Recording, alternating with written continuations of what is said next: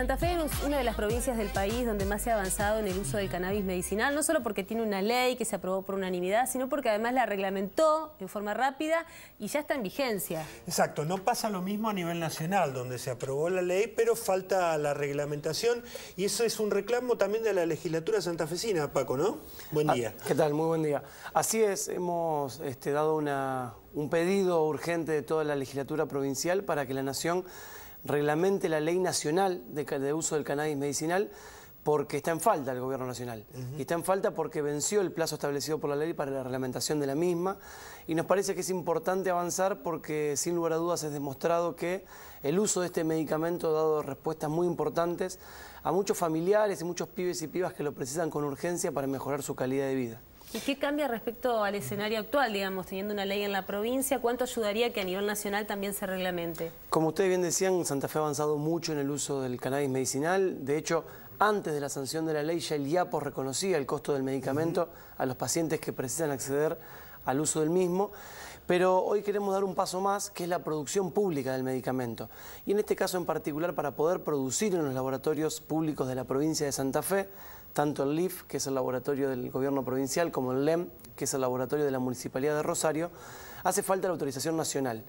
La ley nacional de cannabis medicinal lo que establece es que autoriza a los organismos INTA y CONICET para cultivar la planta y de esa manera tener la materia prima necesaria para producir. Bueno, sin esa autorización, sin ese paso importante que lo tiene que dar Nación, porque es competencia exclusiva del Gobierno Nacional, Santa Fe da un paso importante, que es garantizar el medicamento a los pacientes, pero seguimos importándolo.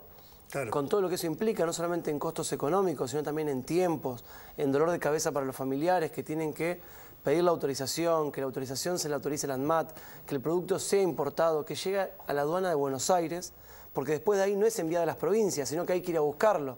Bueno, todo ese trastorno se puede revertir con la producción pública del medicamento. Además también de que vamos a estar hablando de un medicamento como derecho social para garantizar derechos, para mejorar la calidad de vida de la gente y no para especular con el lucro por parte, en este caso, de una industria internacional.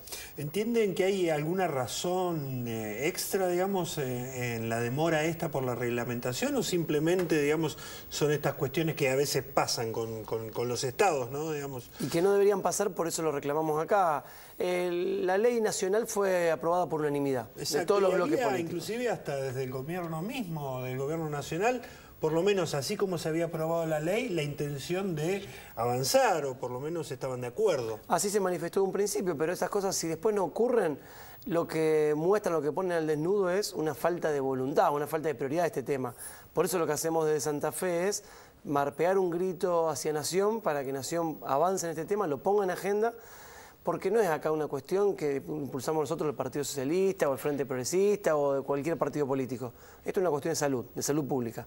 Entonces creo que hay que tomar nota, ponerlo en agenda y avanzar fuertemente. Bueno, me la dejo picando en el área, nombró al frente, nombró al socialismo, cierre de listas el sábado, ya todo definido, va a haber internas en el frente en la lista de diputados nacionales. Eh, Juan Así es. Va a encabezar la lista junto, acompañando al gobierno de Lifchi. Así es, sí, va a haber dos listas en la interna del Frente Progresista, diputados nacional, este, Luis Contigiani por un lado, María Eugenia Smuck este, por otro, que es una concejal rosarina. Eh, nosotros creemos que eso es importante, ¿no? Porque siempre los procesos de, de elecciones, en definitiva, quien, elija, quien elige termina siendo la, la gente, la ciudadanía. Y en particular nosotros no tenemos ninguna duda que Luis Contigiani, el actual ministro de la Producción, es la persona que mejor sintetiza las ideas de lo que queremos plantear hacia el futuro de Santa Fe, donde no hablemos de la grieta que tanto mal nos hace a los argentinos y a los santafesinos en particular, y donde tengamos legisladores en el Congreso de la Nación que defiendan los intereses de Santa Fe. Actualmente tenemos sentado en la banca del Senado a tres senadores del Congreso Nacional. No sé cuánto sabemos los santafesinos de lo que hacen por Santa Fe para defender nuestros derechos. Bueno, lo mismo tiene que ocur- que ocurrir en la Cámara de Diputados. Y Contigiani ha demostrado en todo este año y medio como ministro de la Producción, anteriormente también en el mismo ministerio, defender los intereses y fundamentalmente de los pequeños y medianos productores, pequeños y medianos comerciantes, pequeños y medianos tamberos, que hoy frente a la crisis este, hídrica y del sector lácteo en particular sufren tanto, y ha demostrado cómo el Estado tiene que estar de ese lado, ¿no? del lado de los, de los que más lo precisan. Cuando uno ve la, foto de lo que cómo quedaron las listas en la provincia de Buenos Aires, ahí van con toda la carne al asador, parece, ¿no? Principales figuras, Cristina Fernández, eh, Randazo, Esteban Bullrich, el, ministro de Educación, digamos. Acá en Santa Fe, ¿cómo ves esta elección? Digamos? Eh, ¿Se juega, los espacios políticos, eh, políticos se juegan todo o es simplemente una legislativa más? De nuestro lugar nos jugamos mucho, por supuesto porque no es una elección que uno pasa a mirarla y no ocurre nada, sino que lo que pone también en, perspectiva es lo que va a ocurrir en la Argentina y en la provincia de Santa Fe en particular en los próximos años. Por eso también nosotros hablamos de que es necesario en nuestro país y en nuestra provincia en particular salir de esta falsa grieta en la cual algunos nos quieren poner.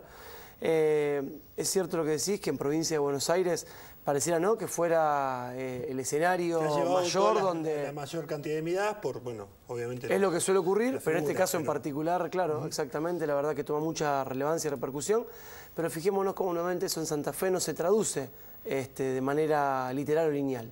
Acá hay otras cosas, en Santa Fe pasan otras cosas que no pasan en otras provincias de la Argentina. El Frente Progresista es una muestra de ello. La última vez que estuvo acá, Garibaldi, todavía el sector de José Corral del radicalismo pertenecía al Frente Progresista Cívico y Social, estuvo Carlos Pereira hace un ratito, y lo que va a pasar en el Consejo se traslada a nivel provincial porque Cambiemos va a ir por afuera del Frente Progresista, incluso tiene otra interna. Eh, ¿Qué cambió de aquella vez que hablamos a esta, porque en ese momento el socialismo apostaba al diálogo, todavía no estaba definida esta ruptura. Hoy, ¿cuál es la situación? ¿Cómo la definís? Y quisiera después ver ese video, si lo, puedo, si lo tienen, lo quiero ver, a ver qué, dije yo y qué, qué, fue lo que hicimos. Estoy seguro que mantuvimos lo que dijimos que íbamos a hacer, ¿no? Que era mantener el Frente Progresista. Nuestro diálogo no va a cambiar. Lo que sí, bueno, obviamente José Corral, con un grupo de radicales, decidió irse del Frente Progresista lo cual, bueno, es una decisión que creo que tienen que rendirle cuentas a la gente de por qué la tomó, y digo esto con mucho respeto, porque el intendente fue electo y reelecto por el Frente Progresista, y un año y medio después de hacerlo, bueno, decide ser parte de otro espacio político, con lo cual creo que eso merece al menos una explicación a la gente de por qué hace lo que hace. Y después, al Frente Progresista no nos va a cambiar nada.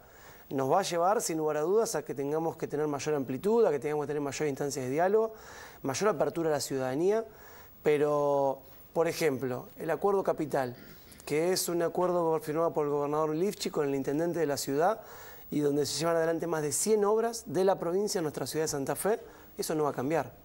Para nada se va a abandonar ni se va a discontinuar, porque nosotros tenemos muy en claro que acá hay una cuestión que es la responsabilidad del gobierno, que es garantizarle derechos a la gente y eso de ninguna manera lo vamos a dejar de lado por decisiones de otros partidos o por una cuestión electoral. Así que en eso dio mucha tranquilidad a la gente de que no vamos a, aflojar ni un minuto nuestra gestión de gobierno, en mi caso como legislador, en toda la provincia, pero en la ciudad de Santa Fe en particular. Y después, bueno, en términos electorales, la candidatura de Emilio Jatón creo que también lo que nos muestra es una posibilidad también de renovación y de amplitud y crecimiento muy grande donde pone en discusión el modelo de ciudad en, la ciudad de Santa Fe. Una candidatura que, ha recibido algún planteo en el Tribunal Electoral respecto a lo que es el lugar de residencia del candidato, de, Emilio, puntualmente. ¿Se tiene que resolver en estos días? ¿Qué piensan que puede pasar con esto? No, no va a ocurrir nada. Hay, hay fundamentos y hechos demostrados como para que esa impugnación no tenga mayores suertes que simplemente un momento que creo que se utilizó para distraer un poco el foco de atención. ¿Quién duda de que Emilio no reside, no ha residido en la ciudad de Santa Fe? Bueno, este canal es una muestra de, la trayectoria de Emilio durante más de 24 años, después también como senador. Conoce más la realidad de los barrios de Santa Fe que, muchos otros funcionarios, incluso municipales. Eh, no me dejo de asombrar de cada vez que vamos a un lugar, una institución, Emilio conoce la historia de la institución, de las personas que están ahí y por lo tanto conoce sus problemas. Y a partir de conocer sus problemas, es el 50% de, la posibilidad de resolverlos y de encontrar soluciones a los mismos, con lo cual eh, creo que ha sido, es una cuestión para distraer y nos preparamos para que sigan ocurriendo cosas como estas. Creo que se van a decir muchas cosas de Emilio Jatón en los próximos meses.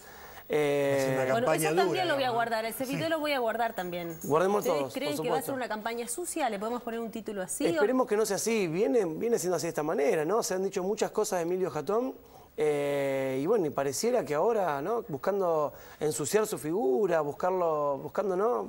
Mancharlo con cosas que no son reales.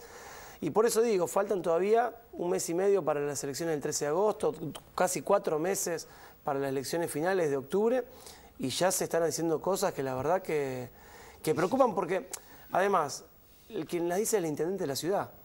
Y entre el tiempo que pasa en Buenos Aires y el tiempo que pasa criticando a Jatón, si se lo estirara podría pensar los problemas de la ciudad de Santa Fe, creo que mejor estaríamos los santafesinos y ahí es donde tiene que estar la prioridad.